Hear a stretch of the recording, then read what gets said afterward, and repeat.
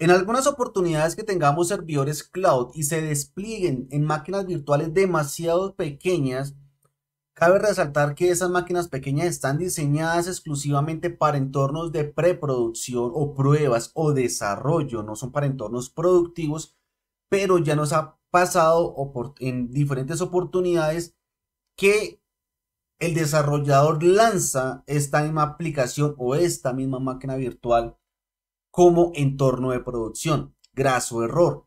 Así que es nuestra responsabilidad como sysadmin resolver temporalmente ese problema. Y vamos a encontrarnos constantemente con ese problema. Fuera o no tenemos capacidad de memoria RAM. ¿Qué va a pasar? Se nos va a mantener reiniciando el Apache, constantes caídas de la aplicación, desconexiones de la base de datos y un gran largo, etcétera. En esta oportunidad, este error que estamos viendo en pantalla en este preciso momento significa que mató el proceso de June, o sea, no dejó que se actualizara el sistema. Cuando nosotros ingresamos como infraestructura, como sysadmin, a asegurar una máquina virtual, un VPC o un VPS, nosotros o las herramientas que se instalan van a consumir normalmente, puede ser hasta 600, 700 megabits de memoria RAM. En este escenario que estamos viendo en este preciso momento, nos vamos a dar cuenta que nuestra máquina virtual solamente tiene 512 megabytes de RAM. No tiene absolutamente nada, no tiene ni siquiera el Apache, no tiene MariaDB o MySQL, no tiene el PHP, no tiene absolutamente nada. Y como nos podemos dar cuenta, ya la memoria RAM está al 100%.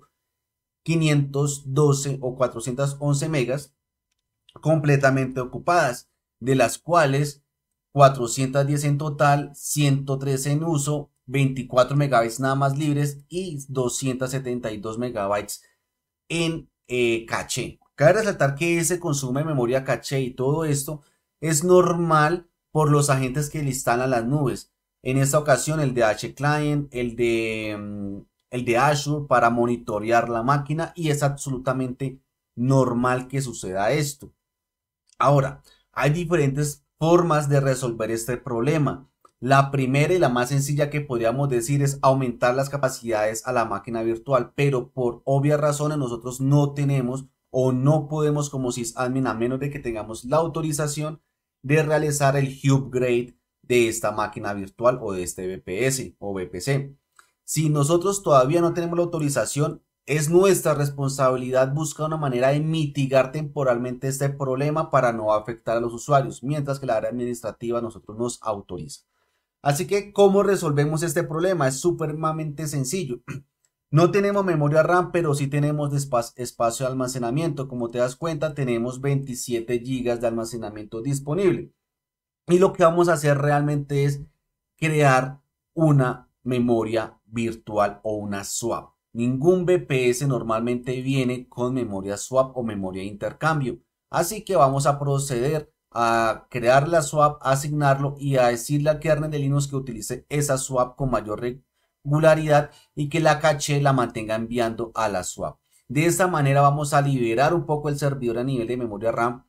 Vamos a mejorar un poco el desempeño mientras que se nos autoriza el incremento de recursos a la máquina virtual o al VPC.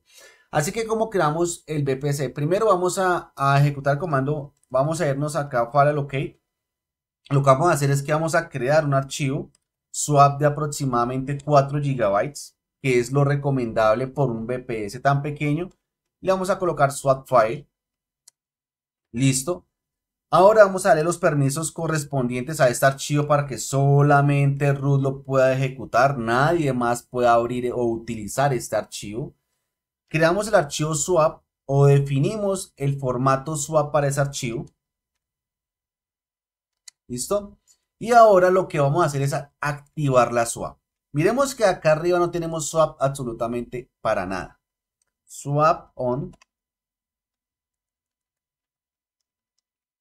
Swap file. En este preciso momento, si yo lo hago free nuevamente, vamos a darnos cuenta que ya tenemos 4 GB de memoria de intercambio o de caché.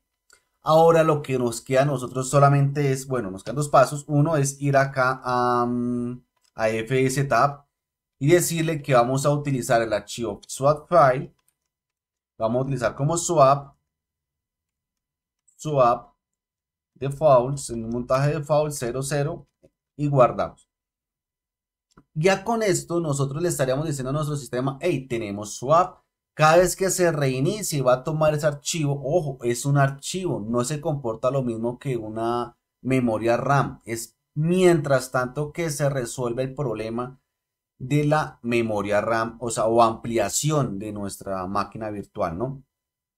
Entonces, en este preciso momento, si yo miro HTOP, vemos que acá en la parte inferior ya me aparecen 4 GB. A medida que nuestro sistema va trabajando, va a empezar a utilizar de, con mayor medida esta memoria de intercambio. Si yo procedo a hacer un reinicio, vamos a verlo. Ya en la posterior conexión me va, va a utilizar la swap sin ningún tipo de problema. Pero nuevamente, esto es una solución temporal, una corrección temporal mientras nos autoriza a ampliar las capacidades del BPS. Siempre buscamos los BPS y siempre tengamos la buena práctica de tener un servidor para entornos de desarrollo, un servidor para entornos de pruebas o unas instancias y un servidor para entorno de producción. No revolvamos, no cojamos el entorno de desarrollo y lo pasemos a producción inmediatamente. No, es un graso error que muchos desarrolladores cometen y al fin y al cabo nosotros somos los responsables de administrar esos servidores y es nuestra responsabilidad velar por esos recursos. Vamos a conectarnos nuevamente. ya arrancó nuevamente la máquina.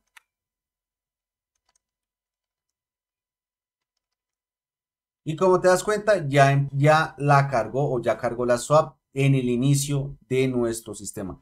Con esto a nosotros nos bastaría para resolver temporalmente este problema. No siendo más, recuerda que si te gustan esos videos, suscríbete a nuestro canal, compártelo. Hasta pronto.